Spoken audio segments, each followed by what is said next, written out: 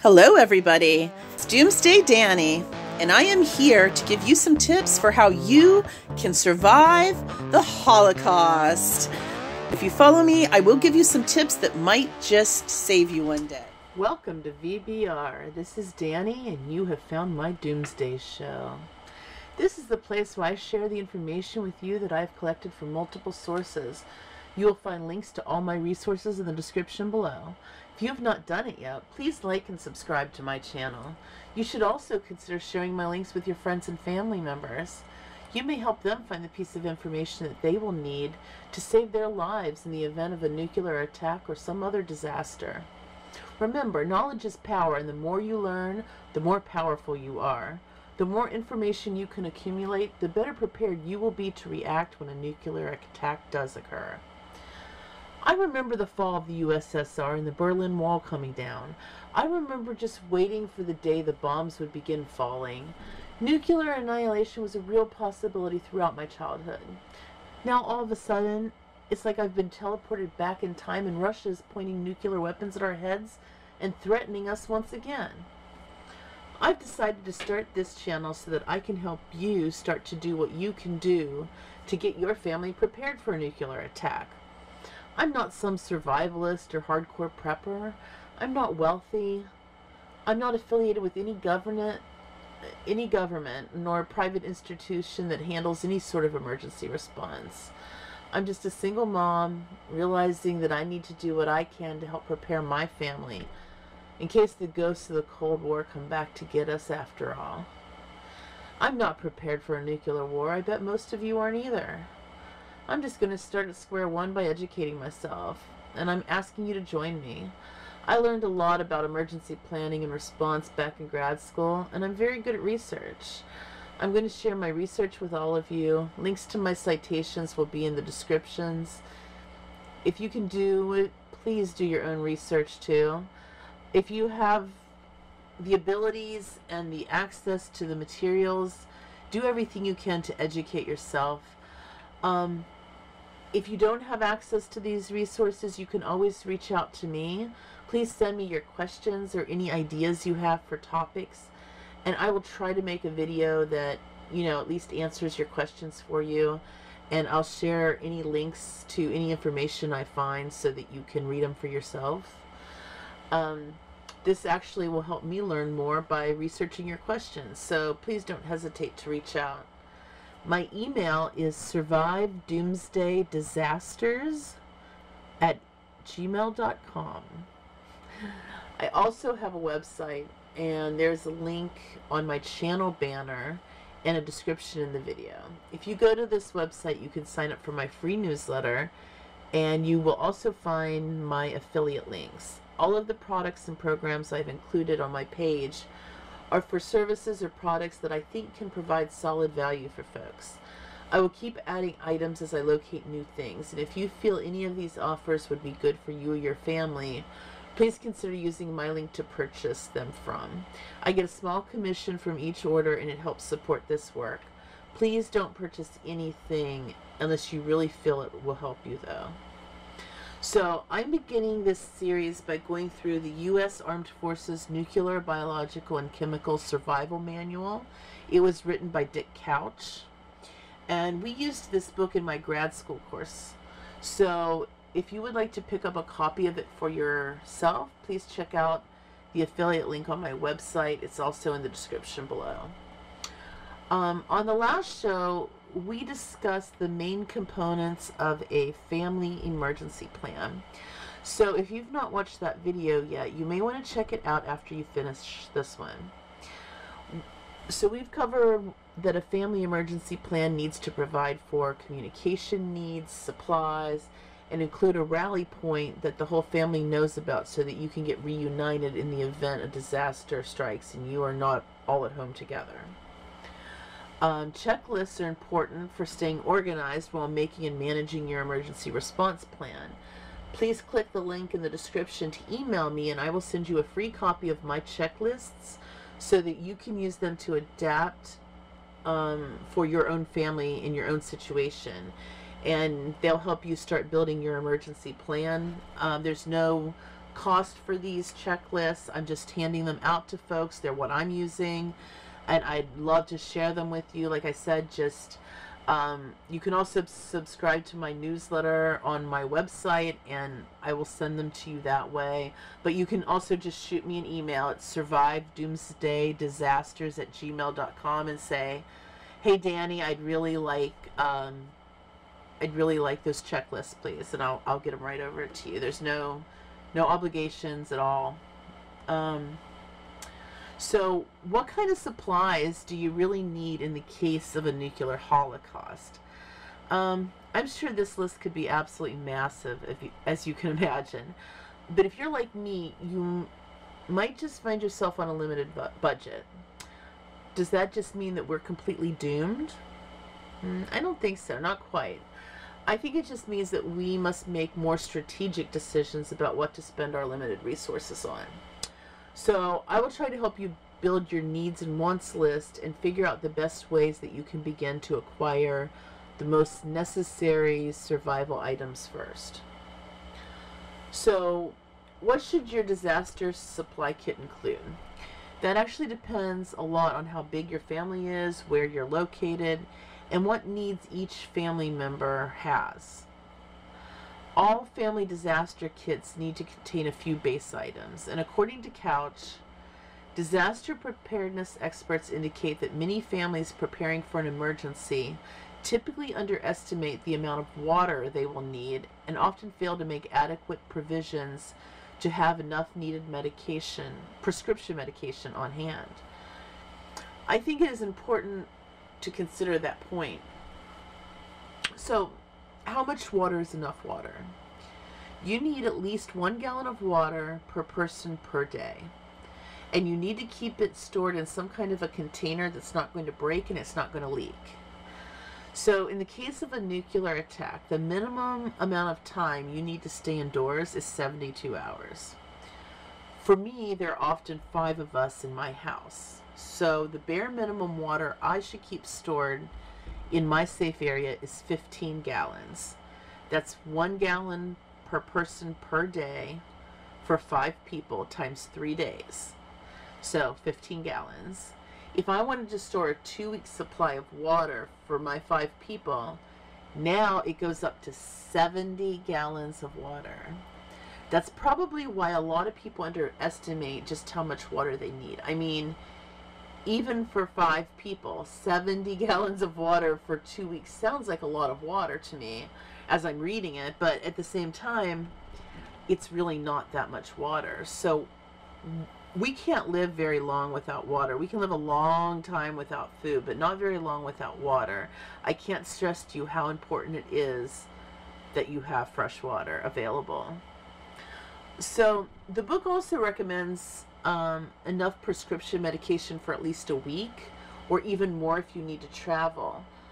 But in the event of a nuclear strike, who knows if refills will even be available, right? Um, if you're on medication and a nuclear attack were to occur, how much of a supply of medication do you have? I mean, is it possible to discuss it with your doctor and try to get more of a stockpile so that you can have that on hand? I'm not sure that is even possible with some, you know, insurance plans.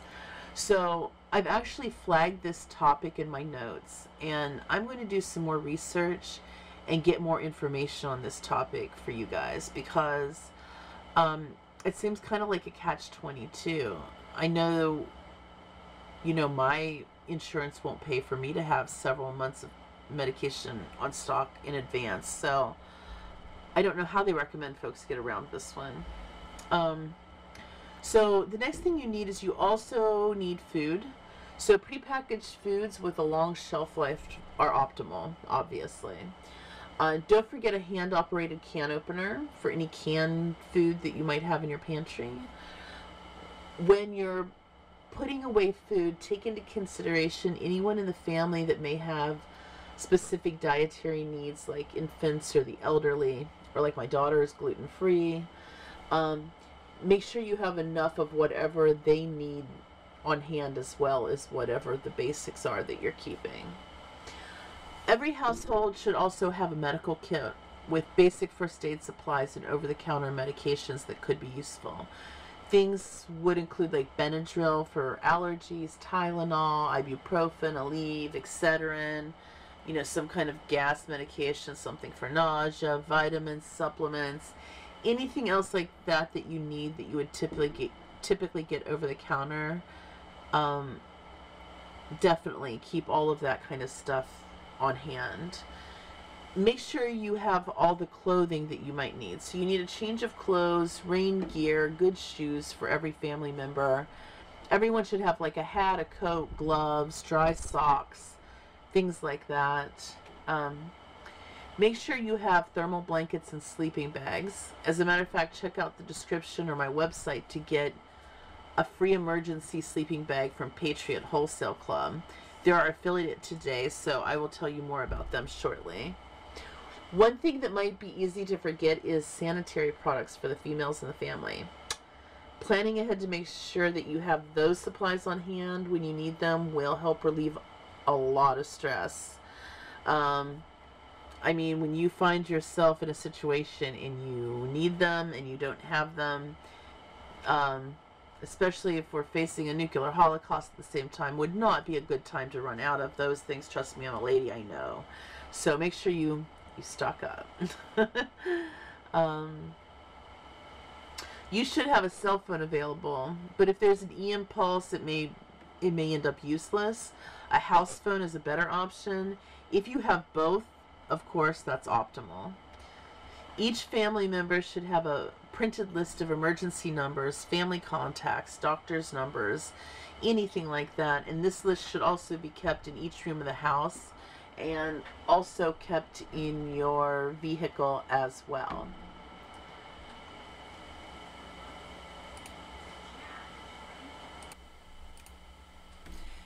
Make sure you have candles and matches available. And you should also make sure that you have a good flashlight for each family member and lots of extra batteries.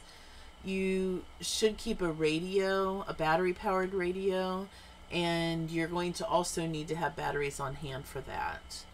Make sure that you have your car keys, cash, credit cards, jewelry, family photos, anything like that. Keep that all on hand. Um, you should keep your gas tank in your car as full as possible. And any family documents or pictures should be kept in a waterproof, fireproof locked box. Make sure that you keep copies of your will and any financial records in there as well. And bank records. Um, camping and outdoor gear might be something good to work up to acquiring. A tent, tarps, a compass, matches, plastic containers, a camp stove, anything like that's always good to keep on hand.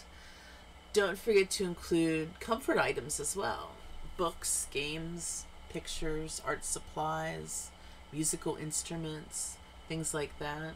Remember, your electronics may or may not work, so go back to old school, you know, entertainment items.